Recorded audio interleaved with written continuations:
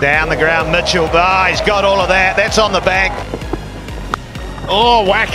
Whack, he's got that. It's gone away. It's gone flat. Did it carry? Did it carry? Oh, that's swung away. Boom! What a catch that is! It's a one-hand spinning from Bone. He's well short of bounds. He's made it. He's made it. And going to go with it. Williamson's got escaped. Out! Out Bangladesh have got a bonus here.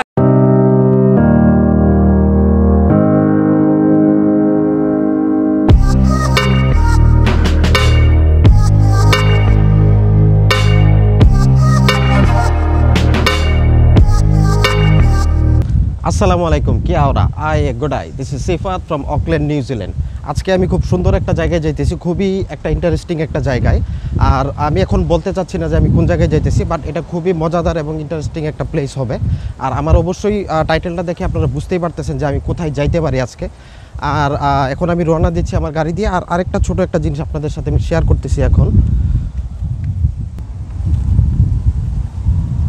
আমি আমার গাড়িতে এই দুইটা sticker লাগাইছি, দেখেন কত সুন্দর। একটা বাংলাদেশের ম্যাপ সহ একটা স্টিকার আর একটা নিউজিল্যান্ডের ম্যাপ সহ একটা স্টিকার আমার আগের গাড়ি তো এরকম স্টিকার আমি লাগাইছিলাম অ্যাকচুয়ালি ওই গাড়িটা বিক্রি করে দিয়েছি দেন আমি এই নতুন গাড়িটাতে অনেক দিন যাবত আমি প্ল্যান করতেছিলাম যে এরকম স্টিকারগুলো কালেকশন করতে, গতকাল জাস্ট মাত্র আমি স্টিকারগুলো পাইছি সো আমি লাগাইছি, আমি জাস্ট আপনাদের সাথে শেয়ার করলাম। দেখেন আসলে কত সুন্দর লাগে যে আমার মতো গাড়ি হয়তো বা অনেকেরই আছে বাট আমার মতো এই ইউনিক টাইপের গাড়ি নিউজিল্যান্ডে মনে হয় আমি ছাড়ার কারণ নাই বিকজ লাইক আমার গাড়িতে, আমার নিজের দেশের ম্যাপ প্লাস আমি যেই দেশে আসি নিউজিল্যান্ডের ম্যাপ সহ একটা খুব সুন্দর স্টিকার লাগানো হয়েছে। প্লিজ আমার ভিডিওর নিচে কমেন্টে জানাবেন যে আমার স্টিকারগুলো আমার গাড়িতে কেমন মানাইছে বা কেমন লাগতেছে। সো এখন কথা না বাড়িয়ে চলেন, আমরা আমাদের ডেস্টিনেশনে যাই। Welcome Bangladesh cricket team in my city আপনারা জানেন বাংলাদেশ ক্রিকেট টিমের খেলা হচ্ছে ব্ল্যাক ক্যাপসের সাথে। টি টোয়েন্টি যে ফাইনাল খেলাটা হচ্ছে, সেটা অকল্যান্ড সিটিতে হচ্ছে। আর আমি ঠিক এইখানেই দাঁড়িয়ে আছি, যেই মাঠে বাংলাদেশ ক্রিকেট টিমের খেলা হবে ব্ল্যাক ক্যাপসের সাথে। আর এটা হচ্ছে ইডেন পার্ক আপনারা জানেন অলরেডি আমার আগের ভিডিও যারা দেখেছিলেন। ফাইনাল যে টি টোয়েন্টি ম্যাচটা হচ্ছে সেটা এই অকল্যান্ড সিটিতেই হচ্ছে। আর সেটা অনুষ্ঠিত হবে first of April two thousand twenty one but এখানে আপনারা দেখতেছেন যে এটা ছাব্বিশে মার্চ ফ্রাইডে লেখা। অ্যাকচুয়ালি প্রথম ভেনুর যে ডেটটা সিলেক্ট করা হয়েছিল ছাব্বিশে মার্চই ছিল। বাট এখানে লকডাউন লেভেল থ্রির কারণে ওয়ান উইক এটা পিছানো হয়েছে। সো এই ছাব্বিশে মার্চের যেই খেলাটা, এটা অনুষ্ঠিত হবে এপ্রিলের এক তারিখ। সো আমি এখন মাঠের ঠিক পাশেই দাঁড়ানো আছে। যদিও আমি জানি না আজকে মনে হয় না ভিতরে আমরা ঢুকতে পারব, যেহেতু আর ঠিক তিন দিন পরে খেলাটা শুরু হতে যাচ্ছে। আমি তারপরে চেষ্টা করব যে এই মাঠের একটু চারদিকে আপনাদেরকে এই মাঠের যেই ফ্লেভারটা বা মাঠের যেই এনভায়রনমেন্টটা আপনাদের সাথে একটু শেয়ার করার জন্য। আর আরেকটা জিনিস আমি একটু লিটল বিট কনফিউজড আছি, সেটা হচ্ছে এই ইডেন পার্কের মধ্যে টোটাল তিনটা খেলার মাঠ আছে। একটা হচ্ছে রাগবি মাঠ, একটা হচ্ছে ক্রিকেট আর আরেকটা কি প্র্যাকটিস সেশনের জন্য ইউজ হয়? লেটস গো এখানে প্র্যাকটিস ম্যাচ হচ্ছে। এখানে যারা নিউজিল্যান্ড ক্লাবের যেই যারা ক্লাবে খেলে, তারা এখানে প্র্যাকটিস করতেছে এই মাঠে। এই মাঠের ঠিক পিছনেই মানে সাদা রঙের যে বিল্ডিং টাইপটা যেটা দেখতেছেন, এটা হচ্ছে মূল মাঠ। সো এটার ভিতরে অ্যাকচুয়ালি রাগবির খেলাগুলো হয়। আর এটার ঠিক ডান পাশে আরেকটা মাঠ আছে। বাট আমি অ্যাকচুয়ালি কনফিউজ যে কোন মাঠে আমাদের খেলাটা হতে পারে। সেটা এখানেও হইতে পারে বা পাশের ঠিক পাশেও হইতে পারে।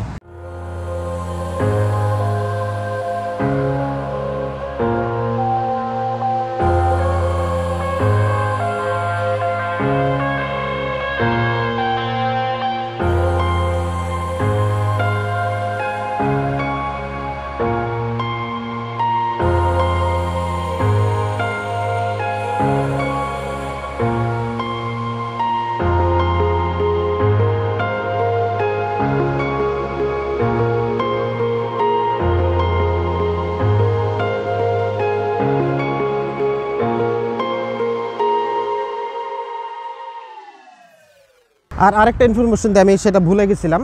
আমাদের যে খেলাটা অনুষ্ঠিত হবে নিউজিল্যান্ড টাইম সন্ধ্যা সাতটায় শুরু হবে, বাংলাদেশ আর ব্ল্যাক ক্যাপসের বাট এর ঠিক কিছুক্ষণ আগে আই মিন দুপুর তিনটার সময় আরেকটা ম্যাচ হবে, সেটা হচ্ছে নিউজিল্যান্ড উইমেন্স যেই টিমটা আছে, সেটার সাথে খেলা হবে অস্ট্রেলিয়ার উইমেন্স টিমের ক্রিকেট টিমের খেলাটা হবে। সো সেটাও আমরা কভার করার চেষ্টা করব যদি আমরা একটু আর্লি আসতে পারি। আর প্লাস আমাদের কাঙ্ক্ষিত যেই মূল যে খেলা, সেটা হচ্ছে নিউজিল্যান্ড ব্ল্যাক ক্যাপসের যেই দল, সেটার সাথে আমার নিজের দেশ, বাংলাদেশ ওদেরও খেলা হবে সো আমরা আগে ভিতরে যাই। এখানে আরেকটা জিনিস, এখানে মাঠগুলা দেখতেছেন, মাঠ প্রিপেয়ার করতেছে ভিতরে। কি কি হবে, খেলা যেহেতু আমাদের তিন দিন পরে হবে সো এই নেটের ভিতরে প্লাস ওই সাইডেও ভলেন্টিয়ার যারা আছে, ওরা মাঠটা প্রিপেয়ার করতেছে। এটা হচ্ছে আমাদের যেই ক্রিকেট যে গ্রাউন্ডটার কথা বললাম, যে ইডেন পার্ক ইডেন পার্কের এন্ট্রেন্স হচ্ছে এটা। সো আমি এটার ভিতর দিয়ে ঢুকতেছি এখন। আমি ইডেন পার্কে অনেকবার আসছি, নামাজ পড়ছি। ভিতরের পরিবেশটা অনেক সুন্দর। সো খেলার সময় কি এক্সাইটমেন্ট হয়, সেটা অ্যাকচুয়ালি আমরা ওই খেলার দিনই ধরতে পারব। এই যে হচ্ছে ইডেন পার্কের যে এন্ট্রেন্সটা লেখাই আছে, দেখতেই পারতো নিউজিল্যান্ড ন্যাশনাল স্টেডিয়াম সো এইটা হচ্ছে মূল স্টেডিয়ামের মূল অংশ। সো এটার ঠিক ভিতরেই হচ্ছে রাগবি যেই ফিল্ডটা সো আমি আগেই বললাম যে রাগবি ফিল্ড অথবা এটার যে পাশেরটা আপনাদেরকে দেখাইছি, সেটাতেও খেলা হইতে পারে। সো এই জায়গায় এখান থেকে টিকিটগুলো কাটতে হয়। তো আমরা যদিও অনলাইনে টিকিট অলরেডি কেটে ফেলছি, আর এই মাঠের মধ্যে এখানে খেলা হইতেছে প্র্যাকটিস হইতেছে। সো আমরা এখান থেকে যাব। আপনাদেরকে জাস্ট আমি পাশ যেই পরিবেশটা আমি জাস্ট আপনাদের সাথে একটু শেয়ার করতেছি।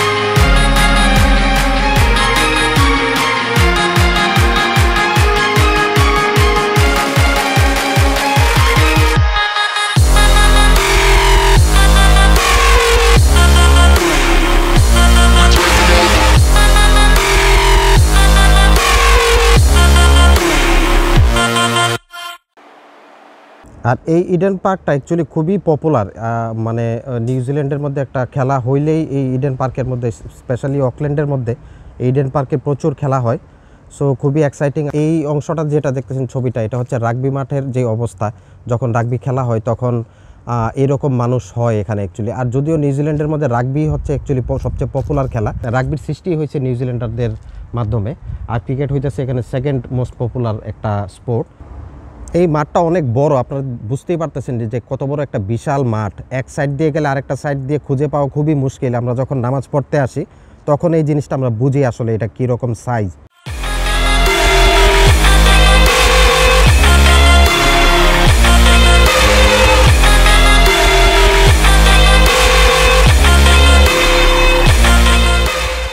আজকে এখন দেখতেছেন যে পুরো পরিবেশটা অনেক নিস্তব্ধ, অনেক অনেক চুপচাপ, অনেক শুনশান। আর যদিও এই ফার্স্ট অফ এপ্রিল এই জায়গাটা এরকম থাকবে না, আমি যে এখানে দাঁড়াইতে পারব সেই মানে সিচুয়েশন হবে কিনা সেটাও আমার জানা নাই। কারণ প্রচুর বাংলাদেশি লোক এখানে আসবে নিউজিল্যান্ডের সব জায়গায় বাংলাদেশি কমিউনিটি আছে বাট বাংলাদেশের কমিউনিটির সবচেয়ে বড় অংশই থাকে অকল্যান্ড শহরের মধ্যে। সো আমরা খুবই এক্সাইটেড দুই মাস আগে আমরা টিকিট কাটছি। তো সবাই যারা অকল্যান্ডে আছেন, সবাই এখানে আসবেন, এখানে আমরা কথা বলব, দেখা হবে।